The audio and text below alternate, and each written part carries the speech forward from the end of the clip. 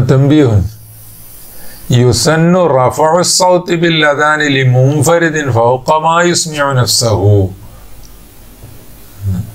لا يسن رفع الصوت بالأذان لمنفرد فوق ما يسمع نفسه.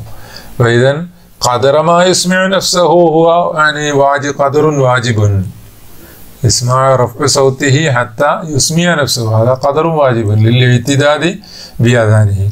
فوق ذلك هو يرفع صوته. سنة. كذلك ولمن يؤذن لجماعة فوق ما يسمع واحدا منهم. يعني هذا قدر واجب. هذا شرط. لو كان واحد يؤذن لجماعة ينبغي أن يكون آه، بقدر ما يسمع واحد من من الجماعة كما سبق. فوق ذلك يرفع صوته هذا مسنون. ذلك أن يبالغ كل في جاهر به للأمر به. وهذا مسنون ثم المبالغة سنة أخرى. فإذا هناك في رفع الصوت ثلاث مراتب. حتى يسمع نفسه بالنسبة إلى المنفرد هو شرط للاعتداد بالأذان بالنسبة إلى من؟ يؤذن للجماعة آه، يسمع على الأقل واحدا منهم. هذا يعني شرط للاعتداد بهذا الأذان للجماعة. ثم آه، يرفع صوته أكثر من ذلك بدون مبالغة. هذا المرتبة الثانية. ثم فوق ذلك يعني يبالغ في رفع الصوت. هذا المرتبة الأخيرة. نعم. كل سنة. يسن رفع الصوت وأن يبالغ كل في جهر به. كل يعني المنفرد والمؤذن للجماعة. للأمر به. به يعني بالمبالغة. أمر النبي صلى الله عليه وسلم للمبالغة في رفع الصوت. وخفضه في مصلى أقيمت فيه جماعة لكن هذا رفع الصوت أين؟ في غير مصلى أقيمت فيه جماعة أما المصلى الذي أقيمت فيه جماعة رجل يخفض به وخفضه به يعني خفض الصوت يسن. أتفن على رفع الصوت. خفض الصوت به يعني بالأذان. لمن؟ آه هو يعني يؤذن في مصلى أقيمت فإذا مضت الجماعة الأولى ثم يؤذن الجماعة الثانية أو يعني آه يؤذن لنفسه. ثم هؤلاء وانصرفوا. بعد الجماعة الأولى هؤلاء الجماعة انصرفوا. إذا لو لم ينصرفوا بل ممكن هم يشتغلون بالرواتب والذكر والدعاء كذا كذا. فإذا هو يبالغ ويرفع الصوت ويبالغ فيه لكن بدون تشويش على المشتغلين بأذكار وصلاة كذا كذا. هناك قال وانصرفوا. لماذا؟ يخفض الصوت في هذه الحالة لئلا يوش- ي- يس- يس- يشوش ويوسوس على المنصرفين. ممكن هم يظنون بسماع هذا الأذان آه، أن وقت الصلاة الآتية قد حضر. ممكن هذا هم انصرفوا بعد المغرب. ثم رجل بعد نصف ساعة يؤذن جهرا. هم يظنون أن وقت العشاء حضر. يأتون إلى المسجد. آه، فإذا آه، هذا لم يحضر الوقت. هكذا لأجل آه، لأجل عدم التخليط وال- والتشويش على المنصرفين يخفى. وهذا الانصراف إلى أي مكان؟ يعني انصراف أيضا مقيد. ينصرفوا إلى مكان آه، يسمعون آه، من المنصرف منه نداء المؤذن. فإذا لو انصرفوا فوق ذلك. لا يسمعون. المنصرفون لا يسمعون أذان هذا الرجل ما هما بالغ عندئذ يبالغوا هكذا قيد النوم. يعني هؤلاء انصرفوا إلى موضع. من هذا الموضع يسمعون صوت المنادي من هذا المسجد. وإلا يعني هم انصرفوا إلى موضع لا يسمعون صوت المنادي من هذا المسجد آه، ما هما بالغا المؤذن. آه، عندئذ يبالغ لا ليس هناك هذا المحظور لذلك. ثم وترتيله يعني يسن ترتيله. ترتيل يعني ترتيل هو أي ترتيل الأذان. ترتيل معناه قطع كل كلمة عما هكذا وإدراج الإقامة إدراج يعني إسراع بكلمات الإقامة أما في الأذان الترتيل يعني فصل كل كلمة عما بعدها لكن هذا باستثناء التكبير فإذا هو يجمع بين التكبيرتين التكبير الله أكبر الله أكبر بنفس واحد أما غير هذا غير التكبير ويفصل يعني يتنفس بين كل كلمة كلمة ثم يأتي به. ثم حتى في حي على التين أيضا. وبعض المؤذنين يعني يدرجون الحي على التين ليس كذلك. بل يفصل بينهما. حي على الصلاة حي على الصلاة.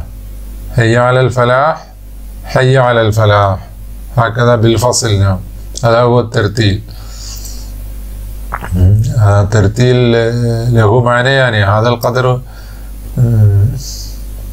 يسن يعني فصل كل كلمة عن غير عن غيره. إدراج معناه يعني إسراع. إدراج معناه في اللغة الإدخال إدخال كلمة في أخرى. وهذا كيف يكون يعني بالإسراع؟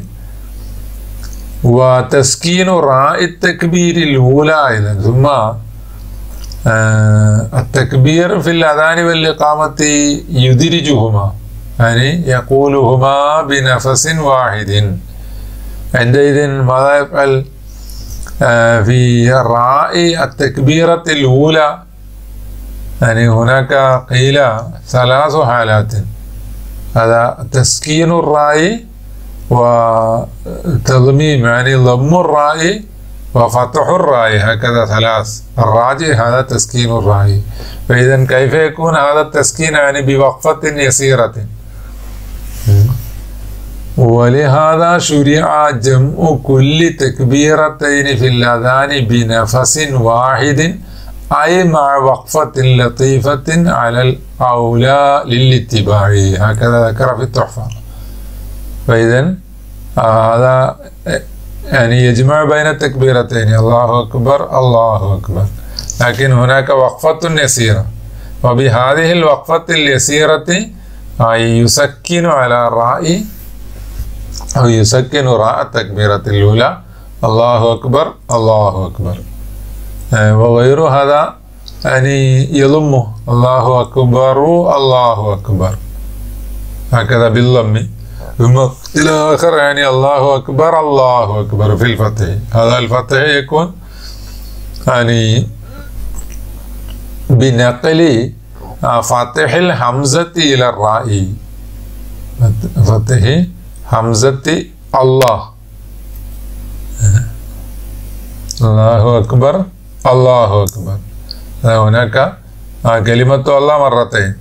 إذن حمزة الله الثانية ينقل إلى هذا الفتح ينقل إلى الراء ويقول الله أكبر الله أكبر أما اللهم ظاهر الله أكبر هذا هو يعني ضم الإعرابي إما هكذا على الأصل أو هكذا بالنقل أو بالتسكين هذا التسكين أو لا نعم فإن لم يفعل فالصح هو الضم نعم وإن لم يفعل هذا التسكين ماذا يفعل وهو يضم على الأصل؟ وقيل الفتح يعني كما قلت.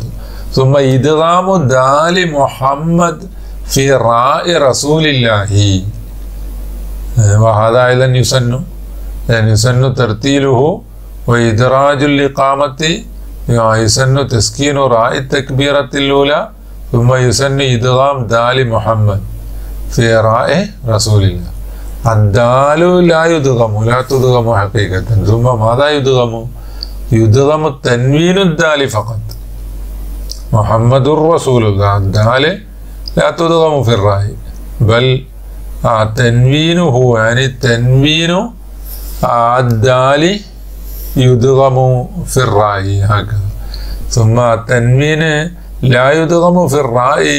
إلا بعد قلبه راء النون يقلب راء ثم يدغم. لأن الإدغام آه، حرف يعني إدخال حرف في مثله. هكذا. في رأي رسول الله. هذا في الأذان. بالنسبة إلى الأذان هذا سنة. أما لو أظهر في التشهد وهو مبطل للصلاة كما سبق أن ذكرنا. من مبطلات الصلاة. لو أظهر هذا التنوين؟ لأن تركه من اللحن الخفي. يعني ترك الإدغام وهو من اللحن الخفي. الخفي يعني الذي لا يغير المعنى. ثم وينبغي النطق بهاء الصلاة. آه، هيا على الصلاة. هذا الهاء وكذلك آه، قد قامت الصلاة. آه، هناك أيضا ينبغي أن ينطق بهاء الصلاة وإلا آه، يفوته حرف لو فاته حرف من هذه الكلمة فكأنه لا يأتي بحي على يفوته هذا الكلام.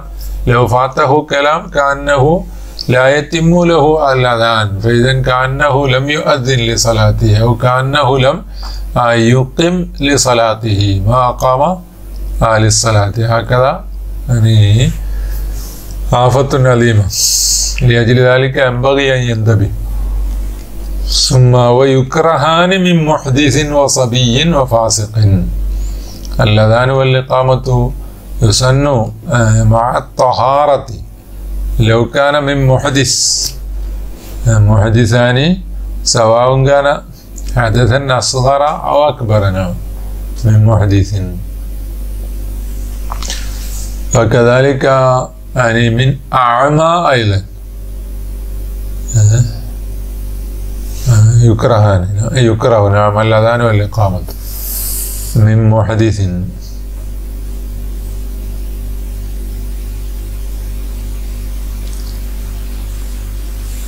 وهذا يكرهان يعني الأذان والإقا- والإقامة آه، يكره من محدث. أما سائر الأذكار لا يكره آه، كتب هناك علي شبر آه، الشرواني نقلا عن ابن قاسم. نعم. كتب قال ابن قاسم بخلاف غيرهما من الأذكار فلا يكره للمحدث لأن القرآن الذي هو أفضل الأذكار لا يكره آه، فبقية الأذكار بالأولى. فإذا هذا الأذكار يسن لها الوضوء يعني الطهارة. لكن مع الحدث هل يكره؟ لا يكره شيء من الأذكار حتى قراءة القرآن. لكن الأذان والإقامة يكرهان من محدث. لو أحدث أثناء الإقامة والأذان ماذا يفعل؟ هل يتم أو يعني يتولى ثم يتم؟ لا وهو يتم. نعم إن أحدث أثناءه آه، ولو حدثا أكبر سن له إتمامه. هكذا كما في التحفة. نهاية مغني هكذا كل كتب. ثم هناك يكرهان من محدث. ذكر هنا آه، الشرواني آه، في التحفة يعني مسائل أخرى آه، مكروهة. ويكره التمطيط والتغني فيه. اللذان التمطيط يعني التمديد. وكذلك التغني كلاهما مكروهان باللذان ما لم يتغير به المعنى وإلا حرم. لو كان يتغير به المعنى يعني بالتمطيط والتغني يكون حراما. ثم قال وترقى بل كثير منه كفر. يعني بسبب التمطيط والتغني في يأتي بعض الكفر أيضا آه، هذا مثاله آه، سبق في تكبيرة الإحرام يعني استفهام. آه، يعني مد ألفي. الله اسم الجلالة أو يعني أكبر وهذا المد يعتبر ألف استفهام فإذا كأنه يرد لا يتردد أو يشك في أعظمية الله سبحانه وتعالى وهكذا يكون معان وكذلك